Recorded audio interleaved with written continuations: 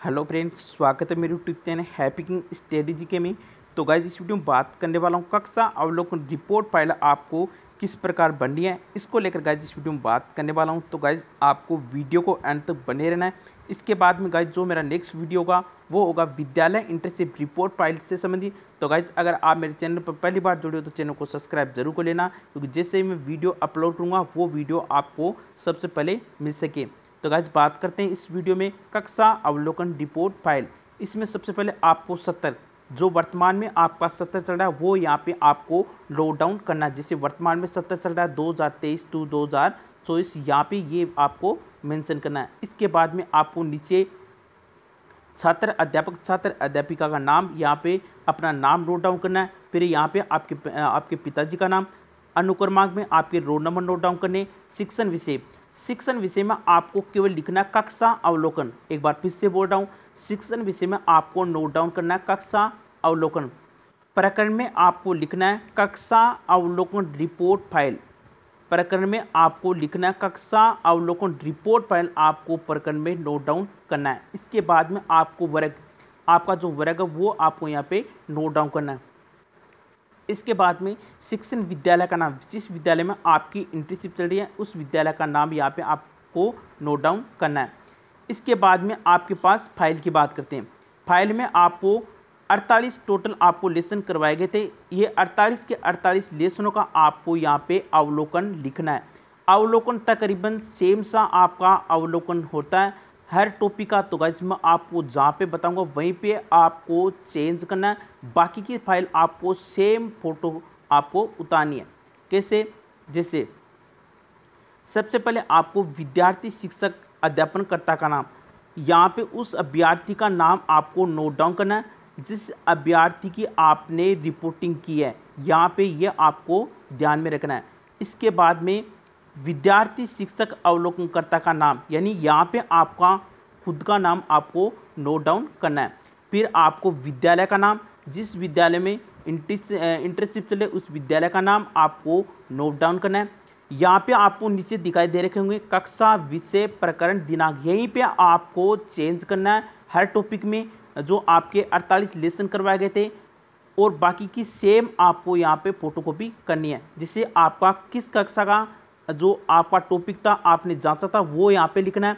इसके बाद में विषय कौन सी विषय का था, कौन सा प्रकरण था और कौन सी दिनांक थी, ये आपको चार चीज़ें इस जो कक्षा अवलोकन रिपोर्ट है, इसमें आपको ध्यान में रखनी है। बाकी बाकी की आपको सेम तानी है।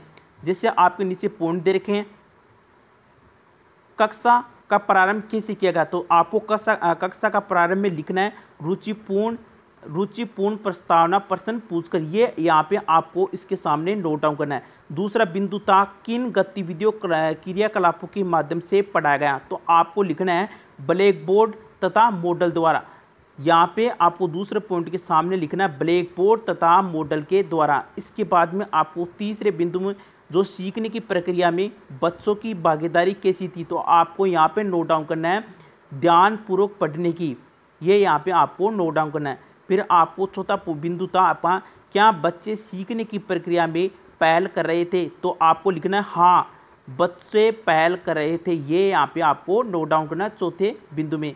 इसके बाद में आपका पाँचवा पॉइंट है, सिखाने की प्रक्रिया में प्रयुक्त भाषा कैसी थी? तो आपको यहाँ पे लिखना है सरल और सहज।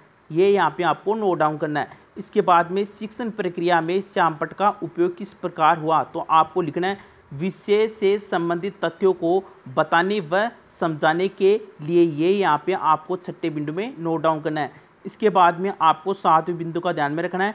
शिक्षण प्रक्रिया में प्रयुक्त सहायक शिक्षण सामग्री क्या थी वह उसका उपयोग किस कैसे किया गया? तो आपको यहाँ पे लिखना है। चार्ट एवं डायग्राम का उपयोग किया गया। तो यही आपको यहाँ पे लिखना है। केवल सभी टॉपिक में इतना करीबन आपका इस ऐसा आपको नोट डाउन करना है, क्योंकि जैसे जैसे आपके मैथ में भी चार्ट चलता है, इसके अलावा हिंदी में भी आपने चार्ट चिपकाया होगा, और अदर्स जो अंग्रेज़ी में भी चिपकाया होगा, और क्लास शिक्षा में सभी में आपने चार्ट चिपकाया होगा तो आपको यहाँ पे लिखना चार्ट एवं डायग्राम का उपयोग किया गया।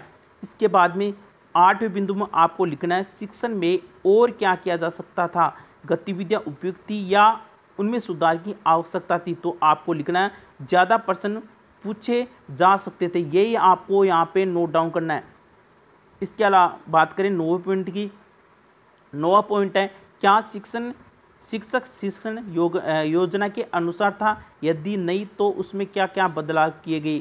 तो आपको यहाँ पे लिखना है, अनुरूप कुछ प्रश्नों को पूछने व समझाने में बदलाव। यही आपको यहाँ पे नौ बिंदु में आपको नोट डाउन करना है। इसके बाद में आपका दसवां बिंदु है, कोई विशेष तथा तथ्य या घटना जो आप बताना चाहते हो तो बच्चों का रुचि लेना तथा अध्ययन करना, ये यहाँ पे आपको नोट डाउन करना है। इसके बाद में आपको नीचे जाना है। नीचे जाने के बाद में आपको यहाँ पे अपने खुद के हस्ताक्षर हस्ताक्षर विद्यार्थी शिक्षक के यहाँ पे हस्ताक्षर करने, फिर आपको अवलोकन मूल्यांकन यहाँ पे आपको उत्तम या जो आपको अच्छा लगे, वहाँ पे उस पर आपको टिक्का निशान लगाना, हस्ताक्षर, पाठ अवलोकनकर्ता का नाम। यहाँ पे यहाँ पे तो उस अभ्यर्थी के हस्ताक्षर होंगे, जिसने दोस्तों अध्यापन करता थे और यहाँ पे अवलोकनकर्ता, जो आपने जो पाठ का अवलोकन किया, खुद का यहाँ पे आपको हस्ताक्षर करना। ये आपको यहाँ पे ध्यान में रखना है। हस्ताक्षर में आपको अध्यापनकर्ता का जो सिग्नेचर होने चाहिए और हस्ताक्षर पाठ अवलोकनकर्ता में खुद के साइन होने चाहिए। ये आपको यहाँ पे ध्यान में रखना है कहीं, क्योंकि कई बार स्टूडेंट कंफ्यूज हो जाते हैं कि यहाँ पे किसके साइन करें, यहाँ पे किसके साइन करें। तो आपको फिर बता रहा हूँ, हस्ताक्षर विद्यार्थी शिक्षक में जो अध्यापनकर्ता उसके यहाँ पे सिग्नेचर होने वाले हैं और हस्ताक्षर पाठ अवलोकनकर्ता में एक स्वयं के साइन यहाँ पे होने वाले हैं। तो ये यहाँ पर आपको ध्यान में रखना है। फिर नीचे आपको हस्ताक्षर पर्यवेक्षक, यहाँ पे आप जो टीचर हैं, जहाँ विद्यालय में आपकी इंटरेस्ट चले वहाँ उस शिक्षक के आपके यहाँ पे हस्ताक्षर होने वाले तो ये मैंने आपको कसा अवलोकन रिपोर्ट फ़ाइल करवा दिया सेम आपकी फ़ाइल होगी। मैंने जहाँ पे बताया, वहीं पे आपको चेंज करना और कुछ भी चेंज नहीं करना। इसके बाद में जो नेक्स्ट वीडियो होगा वो होगा आपका विद्यार्थी इंटर्नशिप रिपोर्ट फ़ाइल से संबंधित। तो फिर मिलते हैं, तब तक के लिए जय हिंद, जय भारत।